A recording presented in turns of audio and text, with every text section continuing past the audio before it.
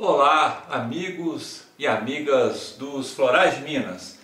Estou eu aqui com vocês, professor Rodrigo Campos, para mais uma live. Quero mandar uma boa noite para o pessoal do YouTube que está nos vendo agora através dessa gravação que estou fazendo. Boa noite também para os amigos e amigas do Facebook. Estamos aqui conectados, a câmera está ligada. Deixa eu conferir, está tudo ok. E finalmente, boa noite para vocês, amigos e amigas do Instagram dos Florais de Minas. O objetivo da nossa live é um bate-papo agradável, conduzido de forma técnica, científica, também, né? falando sobre a beleza da terapia floral, seus benefícios para os cuidados com a nossa saúde como um todo. É um prazer muito grande poder estar com vocês nesse encontro. Toda segunda-feira eu pretendo realizar essas lives. Antes das lives eu estava clinicando, né? Eu tenho que ligar inúmeros equipamentos, sincronizar esses equipamentos todos, preparar a sala para isso, né? Então, é, quem quiser ver a live na íntegra e não puder entrar, né, ou acontecer algum equívoco, algum, algum contratempo, a live fica gravada no meu canal do YouTube. Rodrigo Rodrigo Campos, Florais de Minas, você encontra o meu canal lá no YouTube. Tá bom, amigos do Facebook também? Rodrigo Campos, Florais de Minas é o nome do meu canal no YouTube. As lives elas estão sendo gravadas e ficam lá no YouTube registradas. Ficam também registradas no Facebook dos Florais de Minas. Eu espero que essas lives elas estejam sendo produtivas, sejam estejam sendo bem-vindas, né? E estejam proporcionando inspirações criativas para utilizarmos os recursos maravilhosos da terapia floral em nossa vida como um todo. E o objetivo é um bate-papo agradável, né? um encontro tranquilo com vocês. O que, que eu trouxe hoje para nós? Pensando em questões de saúde mental, nós teremos dois caminhos para os cuidados e manutenção com a nossa saúde. O primeiro caminho é estando doente, você não gozando de bem-estar, não dormindo bem, não se alimentando bem, não convivendo bem com as pessoas, né? Sempre tendo um contato contundente, arisco, ostensivo, ou muito pelo contrário, um contato fraco, frágil, é, é, muito introvertido, não conseguindo lidar com as divergências e as contingências do dia a dia como um todo. E aí você procura meios de cuidar da sua saúde porque você não está bem, não está conseguindo elaborar e processar as contingências da maneira que deveriam ser processadas ou pelo menos que se espera. Bom, buscamos recurso e auxílio quando nos encontramos nessa situação. Mas também podemos buscar recursos, auxílios para melhorar nossas habilidades, tendo elas sem precisar do sofrimento, sem precisar do gatilho da angústia, da dor, do dissabor, para podermos desempenhar o nosso, a nossa evolução né? Então, para desenvolver, não precisamos necessariamente do sofrimento, do dissabor ou de processos que nos tragam todo tipo de desespero na alma. Né? Então, a terapia floral, não só ela, mas várias outras abordagens das medicinas integrativas são capazes tanto de nos auxiliar quando não estamos gozando de boa saúde, não estamos conseguindo lidar de forma devida com as situações, ou também é, vão também nos ajudar a estimular recursos e ampliar assim a nossa consciência. Hoje eu quero trazer um produto dos florais de Minas que ele trabalha o bem-estar, a saúde, através de recursos da sublimação. Motiva, inspira, incentiva recursos sublimativos.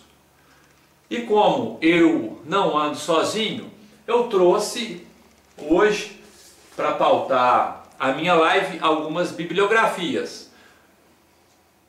Fi Florais e Fi Essências Florais de Minas, obra Edições Florais de Minas, escrita pelo Brenner Ednamara. Deixa eu mostrar aqui para o pessoal do Facebook. Está aqui também para o pessoal do Facebook.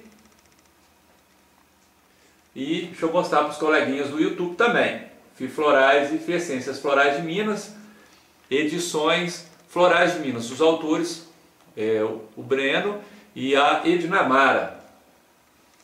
Para você ter acesso ao livro, se quiser adquirir o livro, um livro chamar a sua atenção, pode entrar no site dos Florais de Minas, www.floraisdeminas.com.br. Lá você tem tem o site, a parte pedagógica e a parte institucional e a parte de vendas. Você verá essa obra lá. Essa obra vai falar sobre os florais e as fiessências. Vai trazer o repertório delas, as tinturas vegetais que estão lá dentro, que formam as cocções florais. Vai trazer o repertório das essências florais também. E vai explicar o que são fiflorais e o que são fiessências. Eu tenho lives anteriores, quem quiser retomar, nas lives anteriores, eu falo um pouco mais sobre isso. Né? Então, vamos ver aqui o que, que essa obra tem a dizer sobre a fiessência que eu estou trazendo hoje. A fiessência meditátil. Fiessência meditátil. Aqui para os coleguinhas do YouTube. Fiessência meditátil. A fiessência, ela foi feita para ser usada empregada suas gotas em meio copo com água a um copo com água. A bibliografia Florais de Minas fala que em meio copo d'água está bom. Eu gostaria de sugerir, na minha experiência pessoal clínica, um copo d'água sempre é muito bem-vindo. Acrescentado ainda de produtos naturais, o que era bom ficou ainda melhor, não é mesmo? Então não custa nada tomar um copo d'água, pelo contrário, é muito saudável, né? Nós podemos tomar aí 20 gotas três vezes ao dia, podendo ser até quatro vezes ao dia. Uma posologia básica para pessoas adultas, tá? Meditátil. Não se toma na boca, pinga, emprega-se 20 gotas em meio copo d'água, um copo com água, de 3 a 4 vezes ao dia. Esse é o uso da afiescência. Agora vamos na bibliografia ver o que, que ela traz para a nossa, nossa reflexão. Vamos lá. Eu estou aqui na página 39 da obra Fiflorais e Fiessências, formulações quânticas para o equilíbrio orgânico e energético, edições Florais de Minas. Eu estou aqui buscando leitura na página 39. Quem quiser anotar, se você quiser anotar aí, página 39. Viu, gente? Anota aí, página 39. Nós teremos meditátil. Favorece os estados elevados de consciência. A percepção extrasensorial, além do espaço e do tempo, abrindo a consciência para o infinito principalmente naquele indivíduo cujo propósito de vida inclui tais potencialidades curativas. A formulação favorece situações e posições onde o tempo linear cede lugar ao tempo não linear. E a localidade dá espaços à ilocalidade, conferindo, portanto, uma percepção quântica da realidade sutil. Colabora na dissolução das fronteiras espaço-temporais e a penetração nas dimensões angelicais da realidade. deve ser empregada também ou previamente a rituais individuais ou coletivos de meditação, intercessão, cura, louvor e oração. Podemos ver então, segundo a bibliografia Florais Minas, Fiflorais e Fiessências, que meditátil ajuda a aprimorar, a incentivar, a motivar a nossa ampliação de consciência.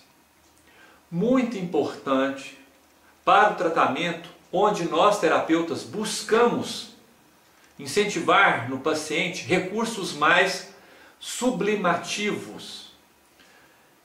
Certos conflitos, eu como psicólogo clínico e como terapeuta holístico há mais de 20 anos, posso falar, certos conflitos, observem minha experiência clínica diária, que não podem ser trabalhados diretamente, de frente.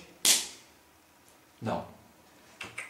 A abordagem direta do conflito, dependendo da estrutura que o paciente se encontra, dependendo do seu nível de saúde, do seu nível de organização intrapsíquico, é melhor, por um tempo, motivarmos nele uma abordagem mais sublimativa, incentivando nele o encontro, o resgate né, de recursos mais leves, mais inspiradores, tais como orações, meditações, o canto de canções que tragam letras e musicalidade, que lhe proporcionem momentos de engrandecimento em seu ser, que ele aprenda algum tipo de arte, né? O meditátil ajuda a produzirmos insights de autocura através de recursos envolvendo a nossa capacidade, o nosso link com a espiritualidade. Não vou abordar a questão da religião, porque isso é muito pessoal, isso vai muito de cada um, vai muito da infraestrutura familiar e vai muito do que toca, aquece, acolhe e direciona o coração do indivíduo. Então, a maneira de se caminhar em direção ao Pai e junto com Ele, né, é muito pessoal. Então, não podemos discutir sobre isso, né, que é uma falta de respeito, uma falta de ética muito grande. O meditátil, então, ele vai dentro dos seus recursos, dentro do que você está disponível, dentro do que você está aberto, vai te ajudar a ter mais insights assertivos estimulando a sua intuição, fazendo com que você tenha saltos quânticos em seus pensamentos, em sua infraestrutura emocional, em sua infraestrutura afetiva como um todo, trazendo mais ar, mais espaço para suas habilidades cognitivo comportamentais. É o que eu observo em minha prática clínica e é um paralelo com bibliografias da terapia cognitivo comportamental que eu comungo. Para citar uma, Aaron Beck e Judith Beck da terapia cognitivo comportamental, né? Para pautar aqui a minha fala, para não ficar uma fala muito solta ou poética, né? Então vamos trazer aí um cunho científico para ela. Meditátil ajuda quando a pessoa está de cabeça muito quente, muito perdida, muito confusa e precisa encontrar um link com a sua fé interior, com o seu prumo interior, para que ela encontre maneiras de não ver a vida de forma tão dura, de forma tão contundente. Conexão com o mundo quântico, conexão com possibilidades infinitas de energias superiores, porque às vezes buscamos energias um no outro o tempo todo e na verdade precisamos, assim como as plantas, buscar energia num nível superior. As plantas, o primeiro alimento, o primeiro estímulo energético das plantas é a luz do sol. A primeira coisa que a planta busca é a energia solar. Dela ela busca força, busca recursos para depois, em seguida, captar o gás carbônico da atmosfera, transformar ele através da fotossíntese e produzir a sua famosa seiva e sua matéria vegetal e, por seguinte, captar as energias do solo, do subsolo, da água e tudo mais. A planta busca uma força de um astro de uma potência maravilhosa, cheia de vida e de possibilidades. O meditátil nos conecta, nos incentiva, nos inspira a entrar em contato com energias mais contemplativas, mais intuitivas e entrarmos em contato com realidades quânticas. Muito bacana o meditátil. Professor, eu posso usar, paralelo com o meditátil, um floral de uso personalizado? Claro que sim, sem problema algum. Ele traz algum efeito colateral, alguma dependência? De forma nenhuma. De forma nenhuma, totalmente natural. Vamos avançar em nossa live. Tudo bem aí?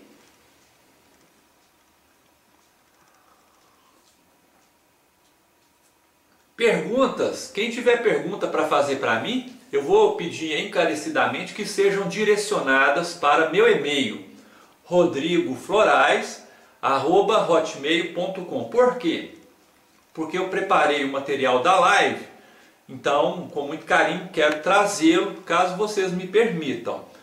E infelizmente o tempo da live é curto, eu não vou conseguir trazer o material, responder dúvidas estar tá concentrado no que eu estou falando e prestando atenção no que, que vocês estão escrevendo. Então, para evitar conflitos e evitar dissabores, eu prefiro que vocês enviem as dúvidas para mim no meu e-mail, rodrigoflorais.hotmail.com. Eu terei o maior prazer em responder suas dúvidas lá, se eu conseguir. Se eu não conseguir responder as dúvidas, eu vou pedir auxílio a Ednamara e ao Breno para responder para que vocês não fiquem com as dúvidas. Vou tentar fazer o meu melhor, prometo, tá?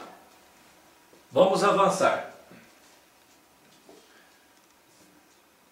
Na linha do tratamento via sublimação, estimulando recursos amplos em nosso ser, eu quero trazer esse produto maravilhoso dos florais de Minas, que são o Ambis Flora, florais ambientais.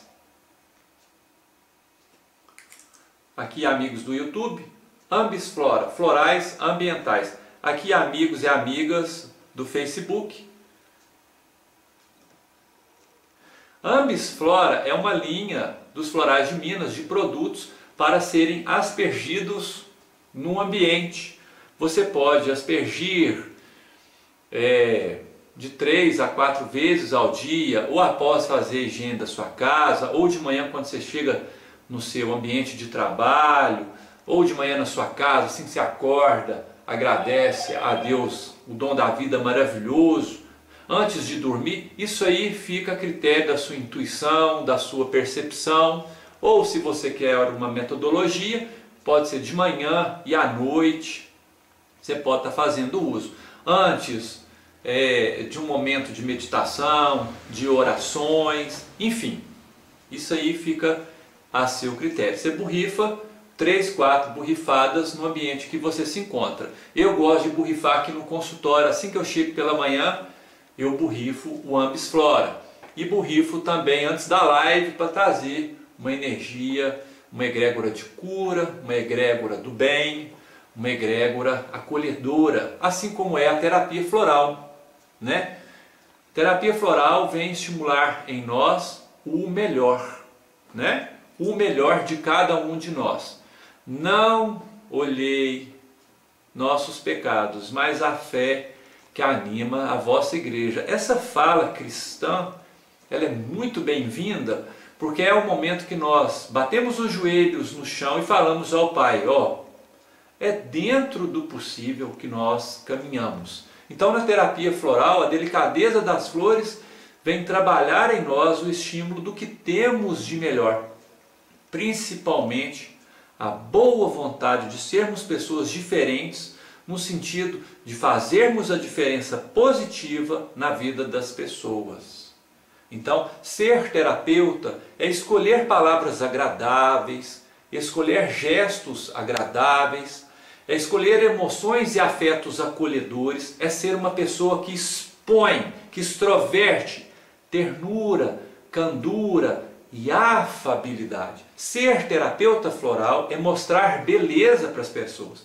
Não é ficar lá com picuinha, com picuinha, pegando aqui, pegando ali, pegando aqui, pegando ali. Não, não.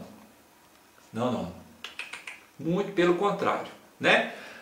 Vamos ver então Ambis Flora. Esse que está aqui na minha mão, ele trabalha convivência e confraternização. É para borrifar no ambiente. Vamos ver o papel terapêutico dele. Eu estou aqui na minha mão o catálogo dos produtos Ambisflora, tá? Quem quiser o catálogo do produto Ambisflora pode pedir para mim no meu e-mail rodrigoflorais@hotmail.com. É, na descrição do vídeo eu coloco meu e-mail, eu coloco meu WhatsApp, viu? É, no Facebook eu também coloco meu e-mail, meu WhatsApp. Quem quiser o catálogo pode pedir para mim eu vou ter o maior prazer em enviar. Tá bom, pessoal? Amigos e amigas do Instagram, tá aqui, ó.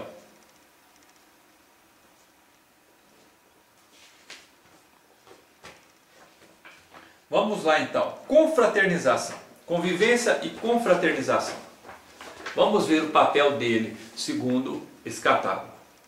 Ideal para ambientes de celebrações, encontros, confraternizações e festas. Eleva o padrão vibratório, quer dizer, traz um padrão mais rico, mais motivado, mais inspirador, exaltando a boa convivência, a gratidão, o carisma, a confiança, a comunicação, a boa vontade em comunicar, a boa vontade em falar e a boa vontade em ouvir. Muitas vezes as pessoas elas são ansiosas, apressadas né, em falar, mas eu pergunto, e o ouvir?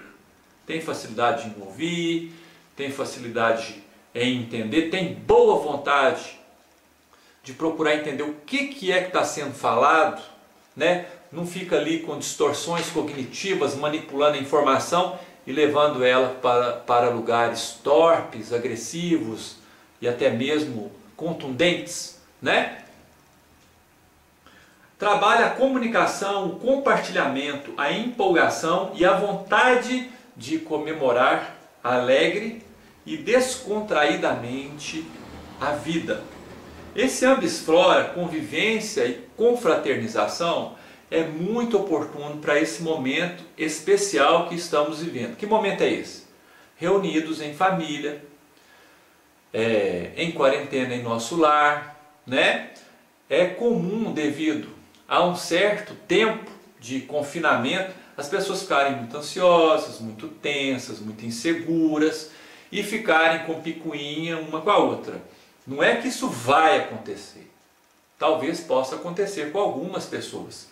Esse ambisflora, confraternização e convivência, ele é muito importante para trazer uma convivência familiar agradável, um falar agradável, pensamentos agradáveis, atitudes agradáveis. Isso é muito importante.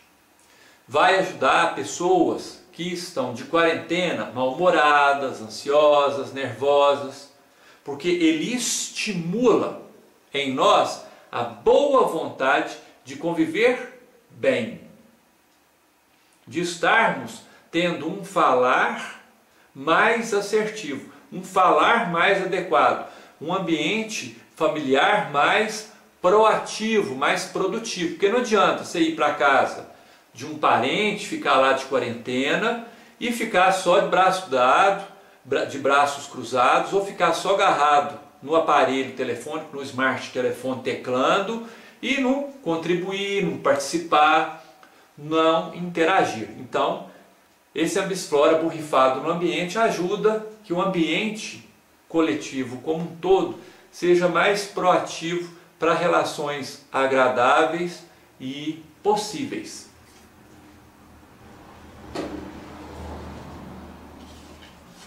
E quero encerrar a nossa live de hoje,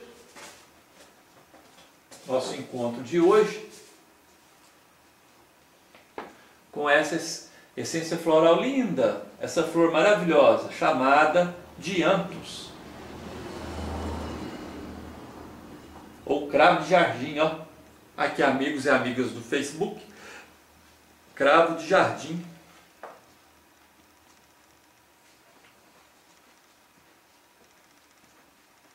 Cravo de jardim.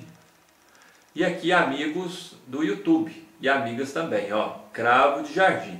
Essência floral, a gente faz essência floral de antes. Lembrando que no Florais de Minas, é, se coloca o nome da essência floral, levando-se em consideração o nome científico da flor para facilitar a identificação de bibliografias por parte deste vegetal. Então, podendo, os nomes das essências florais é, serão colocados respeitando o nome científico das flores.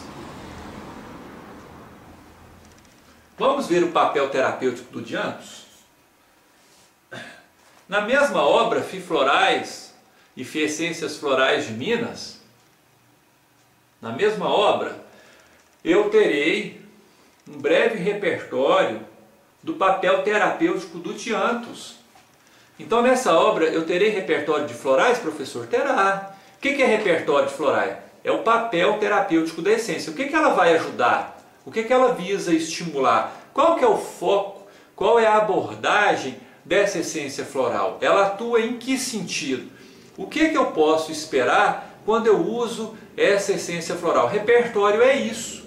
Né? Quando você faz nossos cursos com o Dr. Breno, com Ednamara, comigo, com os nossos facilitadores e facilitadoras que estão no Brasil todo ministrando cursos através do Centro Pedagógico Florais de Minas. A Jussara Bastarri, que é uma delas, né, dentre várias outras que eu poderia citar. A Zuma, que é uma, uma terapeuta floral maravilhosa, uma grande divulgadora da terapia floral, assim, surpreendente, né? Zuma Pavitra de São Paulo.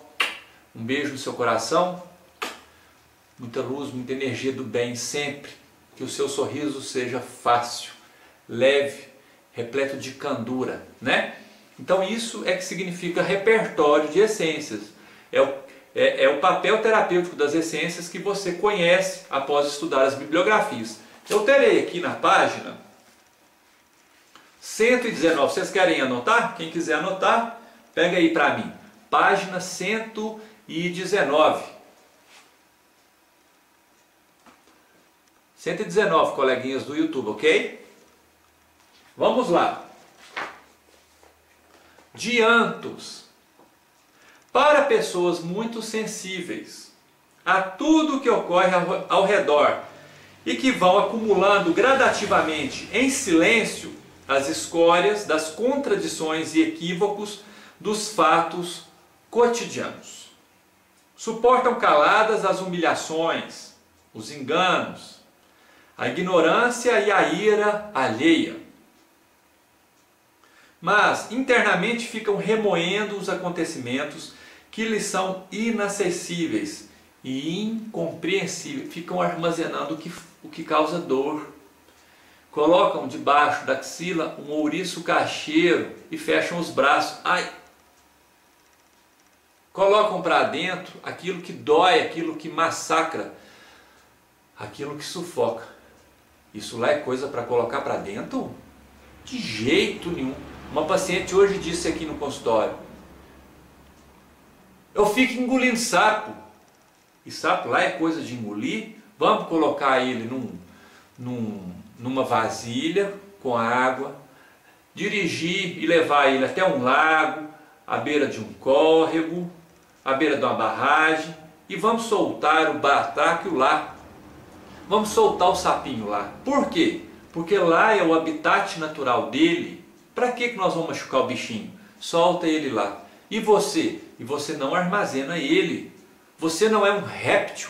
Nós não nos alimentamos de sapos, não cuspimos venenos e nem ficamos treinando por aí dar bote na canela das pessoas. Isso lá é coisa de fazer. Então, se você fica engolindo sapos, com certeza vai se transformar num réptil, vai ficar com a alma venenosa e com a picada, ou seja, o comentário ácido e assertivo, aonde dói, aonde mata, aonde causa confusão. Diantos, então, segundo o que a bibliografia está nos trazendo, é uma essência floral para você não envenenar sua alma, não intoxicar sua mente, seu corpo, sua infraestrutura afetiva com o que não lhe faz bem. Desgosto, dissabores, comentários indelicados, críticas ofensivas, críticas maçantes, repetitivas, né, perseguição gratuita, seja lá o que for. Diantes, diantos é um floral para você se alimentar com o que lhe faz bem, armazenar na alma luz, inspiração, leveza e graciosidade. Vamos avançar na leitura. Passam um ar de frieza, não deixando transparecer nem a tristeza e nem a alegria. Nos momentos em que deveriam explodir de emoção, não fazem, pois são recatadas e orgulhosas. Ocultam a dor, a tortura, a ansiedade interna através da polidez e da distância que mantém dos outros. Diantos é um floral para pessoas exageradamente introvertidas. Pessoas com tendência à melancolia, apatia e até mesmo uma depressividade que pode vir a evoluir para um processo depressivo. Ah, professor, Diantos é um floral que pode fazer parte de uma fórmula antidepressiva? Claro, claro. Por quê? Porque ajuda o humor a extroverter pessoas que são demais em si mesmadas, que ficam enclausuradas principalmente em pensamentos que causam sofrimento. Diantos nos auxilia na comunicação verbal, emocional, na comunicação corporal e energética, viabilizando, dentro das possibilidades de cada um, uma extroversão mais saudável. E para isso eu quero trazer a companhia, que eu sou psicólogo clínico também, além de terapeuta floral e professor de terapia floral, eu quero comentar um pouquinho também sobre psicologia. Quero trazer para vocês a recomendação da obra de Carl Gustav Jung. Eu, eu, eu tenho a, a honra de, de vez em quando, eu me presentei com conhecimento, eu preciso do conhecimento porque não posso andar sozinho, não posso confiar no que separa minhas orelhas, ou seja, a minha mente sozinha. Eu preciso buscar recursos em pessoas mais preparadas, mais sábias do que eu. Então gosto de andar de mãos dadas com Jung. Eu tenho as obras completas dele, é uma box, é uma box que eu comprei na internet, você compra ela, vem os livros físicos, vem todas as obras escritas por Carl Gustav Jung, psiquiatra que desenvolveu a psicologia analítica. Qual obra? Essa obra aqui, ó. A obra 6. Tipos psicológicos de Jung, editora Vozes, tá? Deixa eu mostrar aqui para vocês no YouTube, para vocês verem. Tipos psicológicos, Carl Gustav Jung, editora Vozes. E aí, coleguinhas do YouTube, tá aí a obra Tipos Psicológicos, da editora Vozes.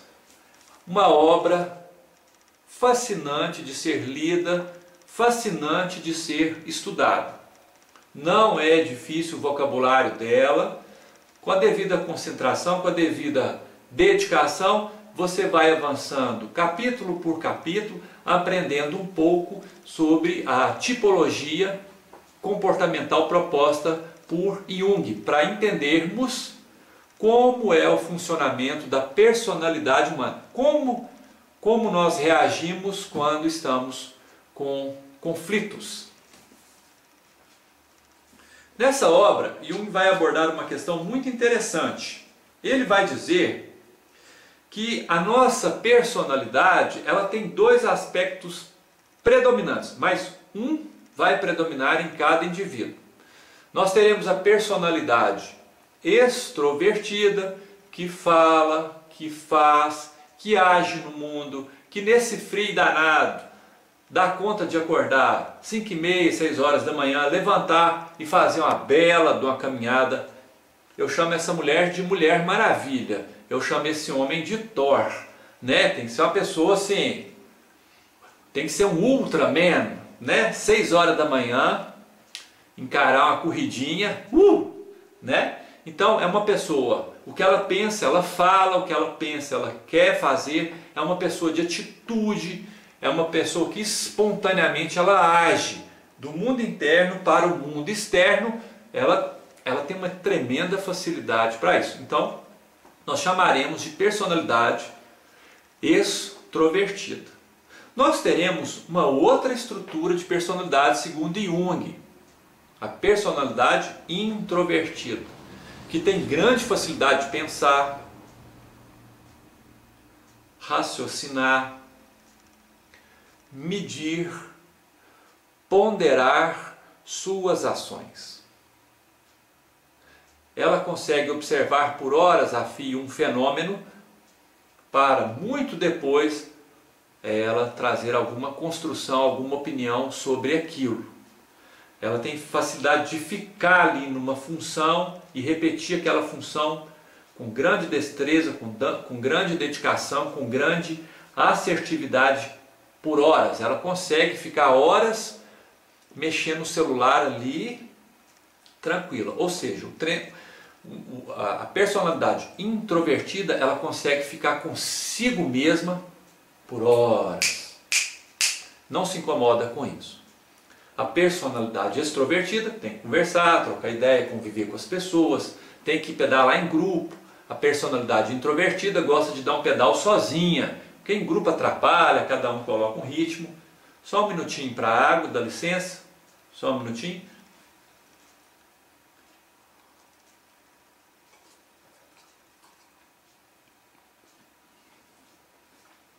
Saúde. Saúde, gente, desculpa. Saúde, viu? Saúde. Nesse sentido, a essência floral de Antos vai contribuir para a estrutura de personalidade introvertida. O que, que Jung faz? O que, que Jung fala? Não tem jeito de uma personalidade ser 100% introvertida, ela vai ser doente psiquiátrica gravíssima, e também não tem jeito de uma personalidade ser 100% extrovertida, ela vai se explodir numa moto a um milhão por hora aí na BR, não tem jeito. Também vai ser um paciente psiquiátrico. Então, a personalidade, ela, ela tem um, um tempero. Tem pessoas que predomina, predomina o campo mais extrovertido, tem pessoas que predominam o campo mais introvertido. Qual é a dificuldade segundo Jung? Que a pessoa que tem facilidade de ser introvertida, tudo é puxa para introversão o tempo todo. E não tem como a gente ir escalar e ficar olhando para a via, olhando para a via, olhando para a via, pensando, pensando. Já acabou, já acabou. Não tem como escalar à noite na rocha, tem muito inseto, é, a, a, vida fica muito forte na rocha, a rocha esfria, né? vai dar muito calango, muita largatixa, muito morcego, dependendo alguns camundongos, os aracnídeos ficam bem mais acesos à noite porque o sol é muito forte, eles ficam quietos num cantinho e de noite como não tem sol, os aracnídeos, enfim, a vida na natureza à noite ela é diferente, principalmente na rocha, né? Então, quando vai dando 5 horas da tarde, é hora de você encerrar a escalada, reunir todos os seus equipamentos de forma devida, checar se estão adequados, colocar na sua mochila e ó, embora, deixa a natureza a natureza ser feliz. Você teve o dia todo para escalar, de noite não. É recomendado evitar a escalada à noite, principalmente em ambiente mais selvático, mais selvagem. Aí a pessoa de diante fica olhando a rocha, olhando, olhando. Aí quatro horas da tarde, ela quer fazer uma via pesadíssima, longa. Agora eu entendi a via, mas já acabou. Agora a gente tem que ir embora. Cinco horas é recomendado a gente recolher equipamento embora para segurança nossa, para evitar de sabores. Aqui, nós vamos fazer exame de direção hoje. Você está preparada? A pessoa dispara a chorar. A pessoa não consegue falar. A pessoa arruma uma tremedeira danada. Ela ficou demais introvertida. Né? E o que, que a gente faz no exame de direção? Dirige. Qual a habilidade que a gente tem que mostrar lá? Locomover com o veículo. Tem que mostrar no exame de direção os automatismos corretos e adequados para a condução devida do veículo automotor dentro do ambiente de trânsito. É isso que o avaliador vai observar sua habilidade de autocontrole pessoal e a sua habilidade de autocontrole diante do veículo em relação ao trânsito. E ele vai sugerir uma série de comandos. Diantos é um floral, uma essência floral muito importante para pessoas que estão reprovando, reprovando, reprovando, reprovando, reprovando de novo no exame de direção. Por quê? Porque elas estão ficando muito introvertidas e na hora do exame não estão conseguindo tomar a atitude adequada, não estão conseguindo exonerar, mostrar os comportamentos e os automatismos adequados para a operação, né? E aí, infelizmente, ela acaba não não conseguindo o sucesso e a aprovação ali. Então é uma essência floral muito bacana de anos para termos atitude, aprendermos a extroverter de forma saudável e positiva.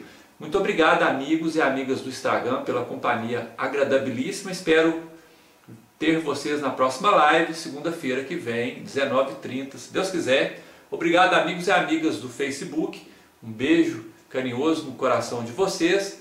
Um abraço fraterno para vocês do YouTube. Espero que essas lives estejam sendo positivas, estejam trazendo insights assertivos para sua vida como um todo. Nos vemos brevemente daqui a pouco, semana que vem. Tchau, tchau. Agora vamos ligar toda a tecnologia. Tchau, amigos e amigas.